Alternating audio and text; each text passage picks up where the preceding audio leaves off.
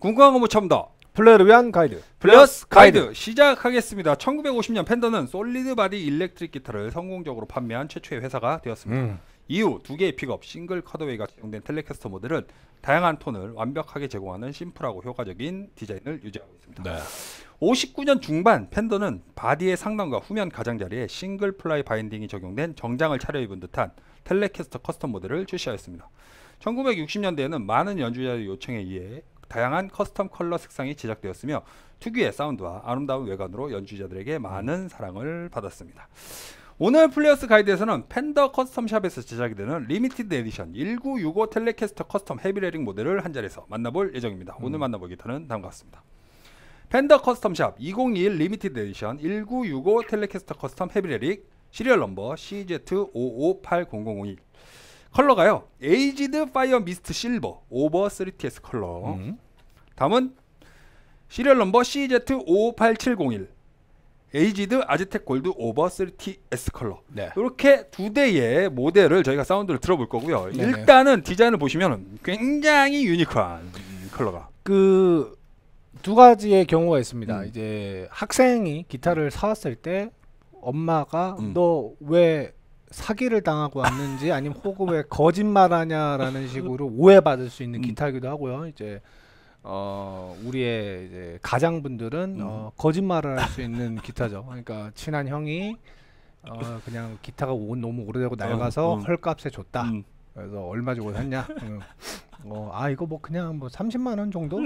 그럼 이제 와이프가 말씀하시겠죠. 30만 원도 아깝다. 어. 어, 시, 시, 아니야. 그 50만 원에 팔려는 거 30만 원까지 깎았어. 라는 뭔가 이런 여러 가지 storyline이 좀 펼쳐지는. Heavy Relic 자체가 음. 약간 그런 느낌이 음, 있습니다. 이 그렇습니다. 보면은 정말로 앞에서 보면 감탄을 자아낼 음. 수밖에 없는 finish를 적용을 하고 있고요.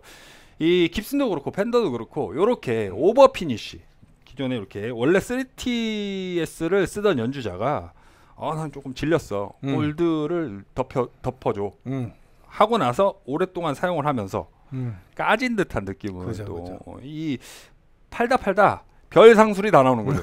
근데 정말로 보고 있으면은 너무나 매력적이고 맞습니다. 멋있는 컬러입니다. 이게 기타 같은 경우는 뒤가 더 확실히 탁 네, 그, 여기도 그게 보이죠. 음, 음, 버클 기스, 그죠. 아, 기스, 버클 스크래치. 어, 네, 여기 이제 벨트에 계속 그쵸. 부딪혀서 나는.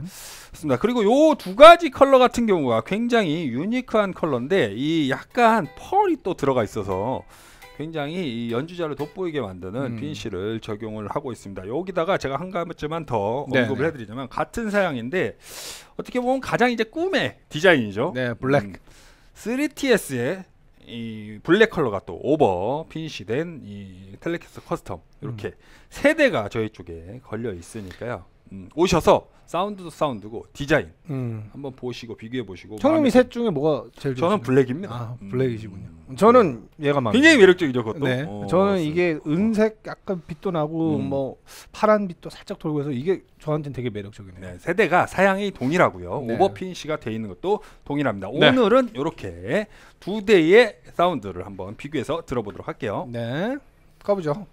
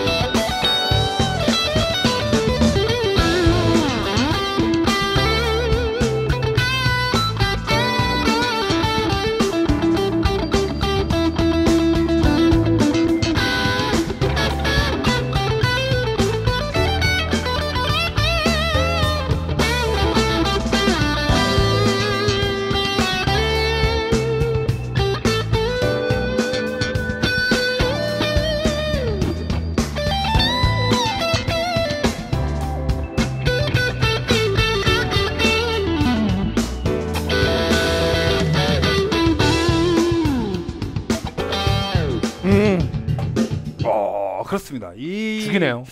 Telecaster 사운드의 진수를 보여주고 있다 해도 과언이 아니고요. 음. 저는 개인적으로 이 다양한 Telecaster 모델을 활용을 해봤지만 이 custom 음.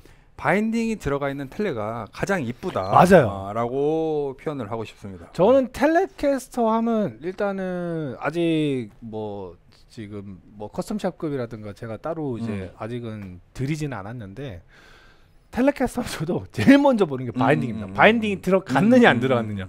그거 이 binding 하나 때문에 기타가 훨씬 더 좀. 고급스러워 보이고 유니크해 보이는 게 있거든요. 어. 그래서 저는 그래서 이65 그리고 심지어 이 neck감도 딱 좋고요. 음. 이게 뭐 모델마다 막 너무 굵은 애도 있고 너무 얇은 애도 있는데 요 모델 같은 경우는 확실히 neck감도 좋고 그 치기에도 굉장히 좀 편한 편안한 느낌 많이 드네요. 그렇습니다. 그리고 이 뭔가 굉장히 부유한 디자인을 갖추고 있는 아즈텍 골드의 사운드를 또 네. 그죠. 들어보도록 하겠습니다.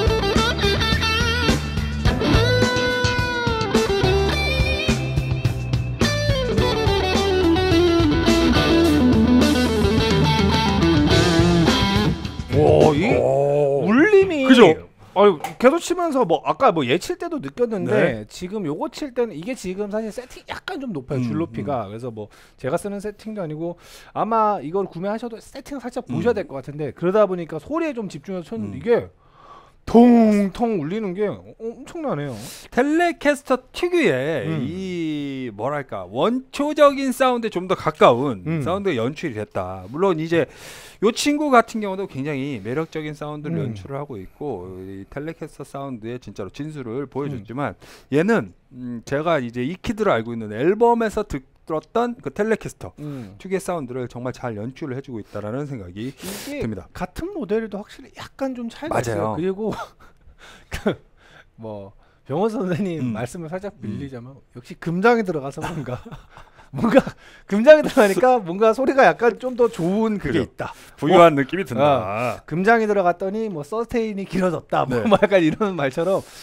근데 확실한 거는 조금 더 직선적인 것 같고요. 얘가 조금 더 좀 또 울림이 좀 더 많은 그런 게 있는 것 같아요. 음. 얘는 좀 더 확실히 다이렉트하게 탁 앞으로 치고 나가는 좀 느낌이 있는 것 같고 이게 같은 기타인데도 조금 되게 디테일 그러니까 제가 말씀드리는 게 그 정도로 확 차이 난다는 게 아니라 약간씩 다르다는 그쵸. 네. 어, 그게 또 어떻게 보면 이 custom 기타들의 매력이라고 할 맞습니다. 수가 있는 거죠. 그래서 이 Custom Shop 양산형 모델, 양산형이라고 하면 좀 그렇지만은 이 일반적인 이 계속해서 출시가 되는 모델들 같은 경우는 되려 어떤 면에서는 이제 편차가 좀 적죠. 음. 어, 모델 간의 편차가 적은데 Custom Shop에서 제작되는 기타들은 성능 차이라기보다는 성향 차이가 확실히 있기 맞습니다. 때문에 맞습니다. 고르실 때 좀더 어, 그런 부분들에 집중을 하셔야 한다라는 것을 오늘도 여실히 느꼈습니다. 아 근데 저와이 볼수록 이게 디자인 자체가 말도 안 되는 디자인이거든요. 진짜 이쁘긴 하네요. 어, 그러니까 저는 또 지금 실제로 이렇게 이렇게 몸에 부착하는 네. 듯한 이 느낌을 보고 있잖아요. 네. 근데 이게 그냥 몸에 붙었을 때 쫙 오네요. 음, 음. 그리고 이 텔레캐스는 뭔가 굳이 내려치지 않아도 그렇죠. 좀 올려쳐도 그쵸, 그쵸, 좀. 네. 멋이 있는 기타라서 이게 참 매력적입니다. 확실히. 그렇습니다. 어, 정말로 매력적인 두 대의 음. Custom Shop 이 Heavy Relic Telecaster Custom 모델을 오늘 비교를 해봤고요. 이 관심이 있으신 분들은 매장 방문하셔서 음. 어, 사운드를 한번 꼭 들어보시기를 추천드립니다. 저희는 다음 시간에도 네. 다른 주제를 갖고 찾아뵐 것을 약속을 드리면서 이 시간 마무리 짓도록 하겠습니다. 네. 군광 공부 첨다 플레이어를 위한 가이드. Players Guide 다음 시간에 뵙겠습니다. 감사합니다.